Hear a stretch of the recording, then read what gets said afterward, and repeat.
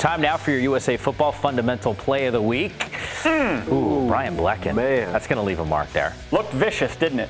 Uh, it did, and this was one of the themes that we saw in the Utah win against Michigan. The fact that defensively they stepped up in a big way.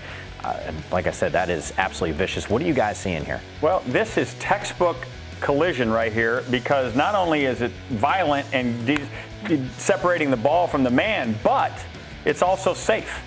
As safe as it can be given the, the amount of uh, speed the two guys were running. And what happens here, you're going to put your hands up, Jake, like you're coming across the middle, just like Devin Funchess just did.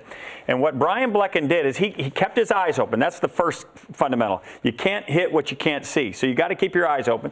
He kept a strike zone. He's trying to keep from underneath the shoulders because the shoulders are too close to the head. We're trying to keep the head out of everything, right? And above the knee. So he's going to come into this strike zone right here, and he's going to keep his head out of it, right? Because if you keep your head out, less head trauma for you as well.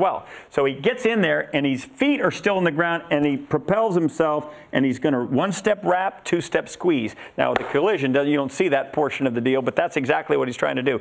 And with his feet in the ground, he's able to propel himself right through the strike zone, keeping him safe, keeping the receiver safe, but getting the ball out. And great defense for Utah. How'd that feel?